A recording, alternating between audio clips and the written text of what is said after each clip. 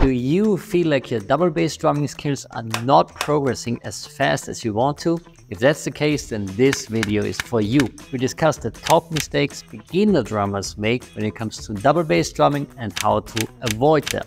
First, pedal settings. When I started to focus on double bass drumming, the cool new thing was to use the maximum spring tension in combination with light bass drum beaters. And we all set up our pedals that way. But the problem with that is that if you are a newbie, then your feet aren't used to moving that fast and they are definitely not used to constantly push against the tight spring tension at higher tempos. So a hint, all of us beginner drummers that try to follow these extreme pedal settings recommendations fail. So here's what I would do instead today. I would start with the out-of-the-box pedal settings, wouldn't change a thing. The reason is that companies set up their pedals in a specific way before they ship them to you. It's their goal to give the buyer, the drummer, you in this case, a good result with those right out of the box settings. They're not stupid, you know? But in case that you've already messed with your settings a bit and don't remember those out of the box pedal settings, then here are some guidelines for you.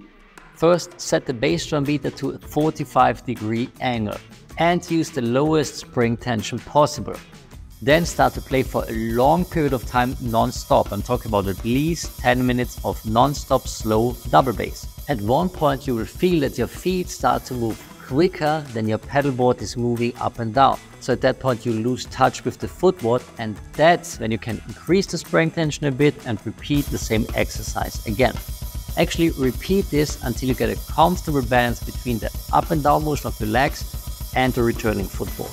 The next big mistake we all seem to make in the beginning is combining both feet too early. So here's what I did in the past and I hope you won't make this mistake too. All I did was practicing with my right foot at a specific tempo. And once I felt okay with my right foot, I would immediately add in my left to play double bass. And as soon as I did that, numerous problems occurred at once. First, I had balance issues. I either had to lean forward or back to keep going. My left foot couldn't play tight. And suddenly even my right foot didn't seem to work that well anymore, and so on. So the problem here was that while I was playing with my right foot, my left foot placed relaxed on the other pedal served as a human kickstand. So that left foot was my main balance. And as soon as I removed that balance point, I had to compensate by leaning forward, back, to the side. Also, since I didn't practice enough with my left foot independently, my left was way less developed than my right.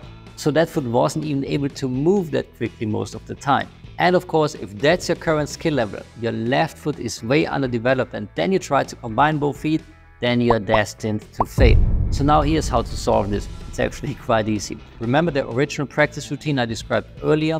just practicing with the right foot and then switching to double bass. All you have to do is add in a third component, which is practicing with your left foot by itself as well. So this improved practice routine would look like this. First, playing with my right foot for at least two bars. Then repeating the same thing with my left foot. And then finally, only then I would combine both feet play double bass. And now on to the third big mistake I made when first starting out practicing double bass. It was trying to learn different techniques at the same time. You know, actually double bass drumming is not that difficult at all. You just need to learn how to use specific muscle groups, then you train them on and off the pedals, and then you store the right motion patterns to your muscle memory to play with your feet. But what I did in the beginning was I overwhelmed myself by practicing different techniques at the same time. So I would play heel up for a couple of minutes.